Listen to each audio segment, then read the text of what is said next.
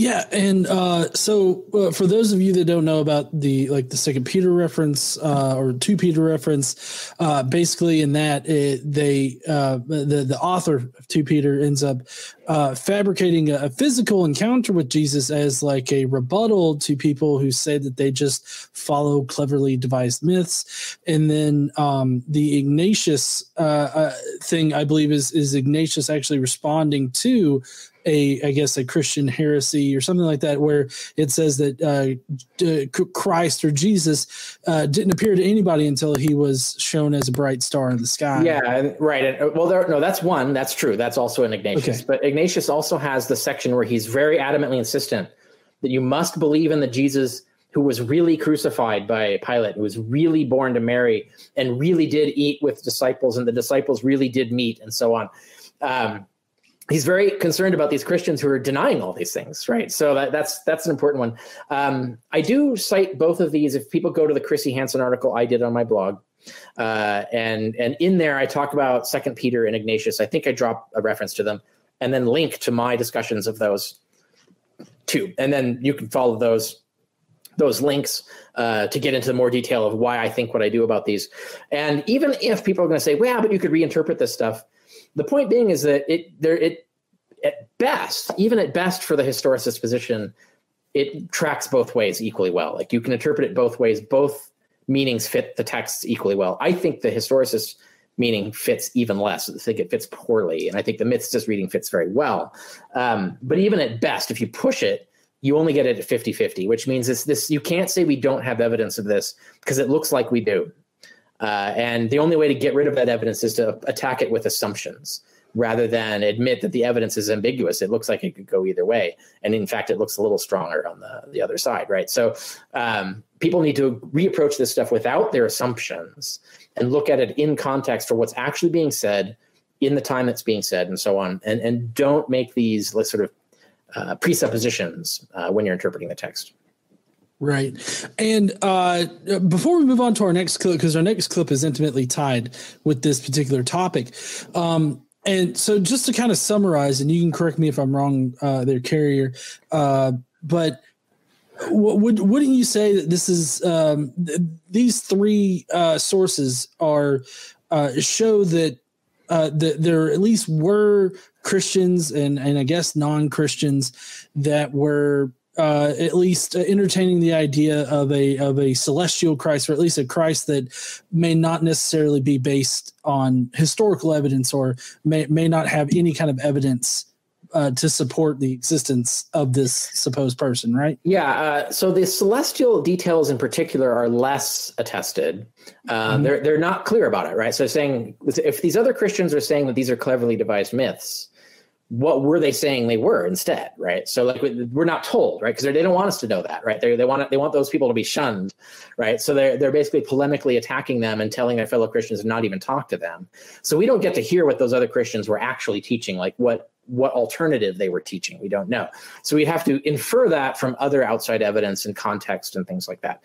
Uh, and that's what Doherty did, and that's what I did in on the historicity of Jesus. Lataster then vets that in his book, Questioning the Historicity of Jesus. So, so that we can only get at indirectly. You did drop one reference to Ignatius. Does have this this weird reference to the Star Gospel. Um, he doesn't call it the Star Gospel. That's just it, it's some sort of gospel in, in, in which Jesus becomes a star. Uh, and it does not fit Matthew. It's not tracking that. It's not tracking any known gospel. We have no gospel that matches his narrative. Um, we have hints of that Irenaeus knew this gospel because he references some of the same things that Ignatius does, but we don't have this gospel. Uh, but it, it's in, in this gospel, the birth and death of Jesus are hidden. Like no one knows about it until after the resurrection, Jesus becomes this super bright star that all the heavenly hosts see. And then all the demons feel tricked and they're like, oh my God, what happened? Where, what the hell? Uh, and then that's how Jesus gets power over the demons and yada, yada. And Christian Christianity proceeds. But so there, so this is a weird gospel, right? And it does look very similar to what we see in the Ascension of Isaiah. Um, so, so there, so there's that leads into that whole can of worms. I know Chrissy Hansen hates my position on the Ascension of Isaiah, but um, but there there is overlap. There is curious overlap between the the triad of Irenaeus, Ignatius and the Ascension and this star gospel. So there's some lost gospel that these guys are referencing.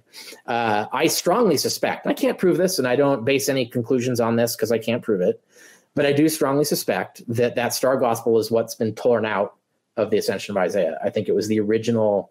Uh, and, and of course, we're only hearing paraphrases. We're not hearing an exact you know, so we don't have the text. Mm-hmm. We just have Ignatius referring to it and paraphrasing it. We have Irenaeus referring to it and paraphrasing it. Um, but I think they're referring to a gospel. I think that was the original middle part of the Ascension of Isaiah, chapter eleven. Um, but again, like I said, I don't I don't base any conclusions on that. I don't require that to be true. It's just a thing that I suspect. Um, but uh, but yeah, that's that would get into a whole other uh, digression. But but that's what I meant when you asked about the celestial Jesus. Is that we have some hints like in Irenaeus, he talks about the people talking about uh, celestial births. Um, Aaron Adair uh, has a paper. I don't know that he's published it yet, uh, but he's working on it. He's presented it at a conference, a biblical studies conference already, on how Revelation seems to be one of these texts. Uh, it seems to say that Jesus was born in outer space uh, and that Mary was fled to outer space and so on. Um, it does seem to say that, uh, but Revelation is so wackadoo and so symbolic uh, that it's hard to like know what to take literally and what is just figurative. So I've never used it as a text or as evidence. Uh, I'm intrigued by Aaron Adair's work on it, uh, and because I've seen it, and I think um, people should look for it when he does eventually publish it. It's it's going to be worthwhile, uh, whether it holds up or not. It's going to be an interesting analysis of the text. But that's the kind of thing we have to do. We have we can only get at it indirectly because all the direct evidence has been destroyed or lost because that isn't the sect that survived. It isn't the sect that got to decide what books to preserve for us to read them now. So, or what state to preserve them in, right? So, uh, mm-hmm. and we know the Christians doctored all kinds of stuff. We know they made up all kinds of stuff. We know they destroyed all kinds of stuff, uh, or just didn't preserve it, um, which is amounts for the same thing for our, our perspective. Um, and they, we know they didn't want to talk about stuff like in this case, like in Ignatius and Second Peter they very carefully avoid going into detail about what their opposing Christian sects are arguing. They're just polemically attacking them and denouncing them, and then telling their fellow Christians what they're supposed to believe instead. So from that, we just have to infer what the other Christians were saying, right? So uh, mm-hmm. we don't get to hear from that. So we have to infer things. So we have to go at things uh, in that way, and that's because the evidence is so compromised uh, by the, the extreme bias, especially the Middle Ages, um, and the way evidence has been preserved for us to read it. Right. And so would you say that um, there would be no reason for them to mention like these possibilities or, or these ideas unless they were somehow uh, at least being expressed like uh, by, yeah, by right. a community yeah. or by people in general, right? Yeah, yeah. And yet they still avoid like they're acknowledging that these other teachings exist but they avoid articulating what they are, right?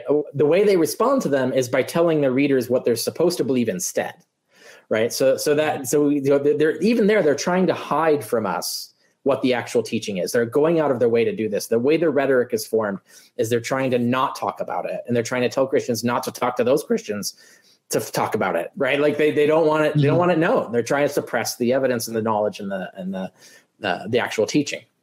Uh, and so we and we have lots. This isn't the only evidence we have of Christians trying to get other Christians to not listen to things and not know things. Uh, we, we see that a lot. Destruction of documents, we know, like the Gospel of Peter was actively destroyed. We have direct references to efforts to burn all the copies of the Gospel of Peter, for example.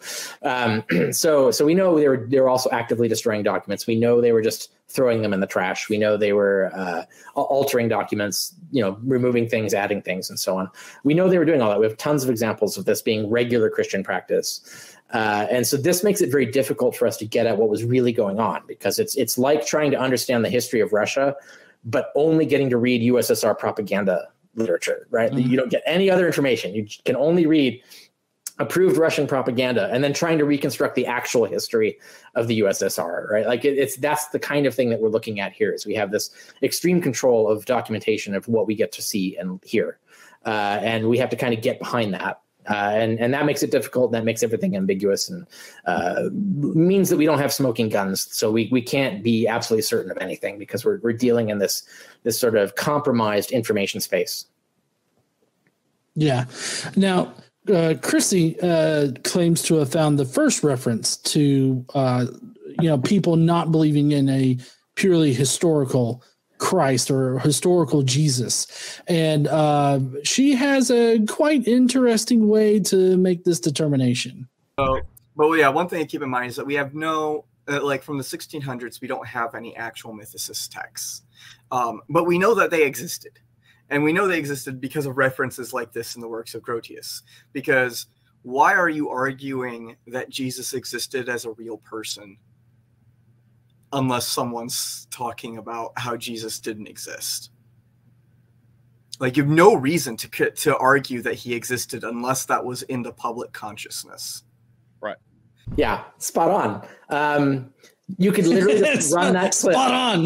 you could run. You could just talk about Ignatius and Second Peter, and then run that clip, and Chrissy Hansen is arguing our position. That's exactly what we're saying. That's literally exactly what we're saying uh, about Second Peter and Ignatius. Um, and she's right. I think like like her methodology is correct here. Is that uh, in the 17th century, the fact that there are people making these arguments in, very strongly indicates that there were people making the other side of that argument. Uh, and also, it means that they're don't want us to know about that. Like they're suppressing it, they're censoring. Uh, you know, we, we only get to hear about the the pro Christian side or the pro Catholic Orthodox side. We don't get to hear the other side. Uh, and now we do eventually later uh, when uh, the Catholic Church loses control, basically, of the ability to censor I mean, the whole failure to try and censor Galileo uh, is that was the death knell for Catholic ability to control information. And then you have the Enlightenment, and then people can publish anything they want, and the church can bitch and moan about it, and they can't stop it. Uh, is, is, what happens, right? So after the 1600s, um, then yes, we get that's when we start getting actual. We have surviving mythicist texts that we can read. Uh, and Chrissy Hansen talks about the history of that and everything. Uh, but she's also right. Like you go back 100 years, and you see already one half of this argument is going on and that tells you that yeah there there were people arguing the other half of that argument. We just don't have any of those documents. And that's a perfectly sound way to argue and it's exactly the way we have to argue with early christianity for the exact same reason because of the control of information and the way that information has been compromised in its way to us. Uh, and yeah we have texts just like that. We have second peter we have ignatius. So um, and I would, I would include you know the dialogue with trypho even though that's not uh, an opposing Christian sect. It's just a casual Jewish doubter um, that is a fictional one, but I think it's meant to be meant to at least represent the, the, typical kind of Jewish arguer that you a Christian would run into, right? I think uh, Justin wants to cr- create this argument that people can use. Um, it's possibly straw manning the Jewish argument. Um, I think it's it would be counterproductive for Justin to do that because I think he wants to create a manual for defeating uh, these arguments. But as I just did a blog recently on today, current Christian apologetics completely failing to do this. uh, it's entirely possible that Justin is straw manning Trypho, not realizing that he's shooting himself in the foot, uh, at, you know, rhetorically. But um, either way, though, but uh, Trypho is his is a Jew in his mind uh, that he's interacting. But still, the fact that he imagines that there are Jews who would challenge the historicity of Jesus, who would say, "We think you all your stuff is made up. Uh, you just believe false stories." Um, you know that that is entirely believable, uh, and and and probably is the case. So there's probably were tons of people who were that kind of skeptic uh, and that perspective.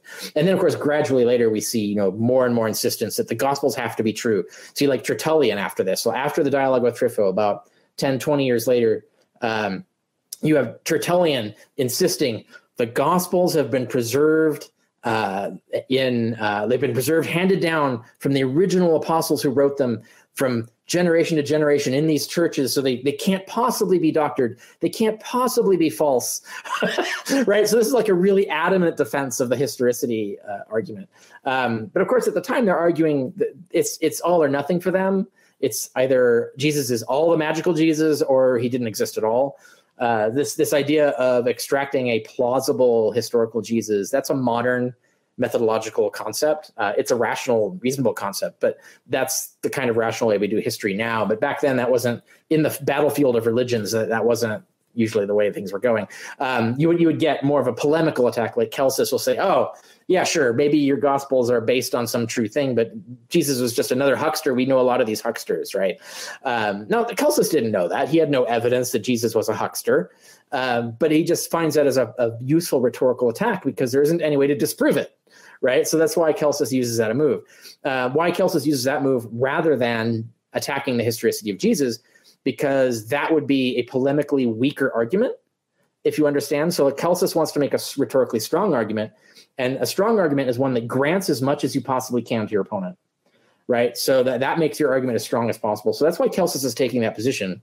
Um, we'd probably know more about this if we had Celsus. We don't. We only have Origen's rebuttal to Celsus, so we have to infer what Celsus said, uh, or, or, find quotes of him in there. But Celsus might have said more things than Origen responds to. Uh, but even if he didn't, uh, it still makes sense for Celsus to take that position. That does not mean that Celsus had secret inside knowledge that Jesus definitely existed. Uh, he didn't. He, he, he had no more knowledge. And he, his only source is the Gospels, like he admits. The only information that we have are the Gospels. so, um, so anyway, you can explain and understand these things in, in in context, but you do have to like you can make inferences based on these contexts, and I think that's why that kind of argumentation is important and not to just come at it with a presumption and then try to make the evidence fit your presumption. That that is the wrong way to come at history. Uh, and so when when chrissy hansen is doing the one thing she's on the right road doing using the correct methodology. When she does the other thing she's in christian apologetics town. She's doing the exact same thing that christian apologists do rather than like reliable scholars. Uh, and sometimes she slipped into one mode sometimes in the other and you just have to look for what she's doing in the argument and then fact check her and then you'll find out which she's doing in any given case.